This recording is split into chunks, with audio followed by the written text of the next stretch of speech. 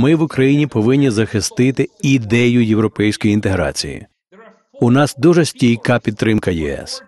Є чотири стовпи, чотири цілі, які є першочерговими для українського народу та нашої співпраці. Перша ціль перспектива членства в ЄС.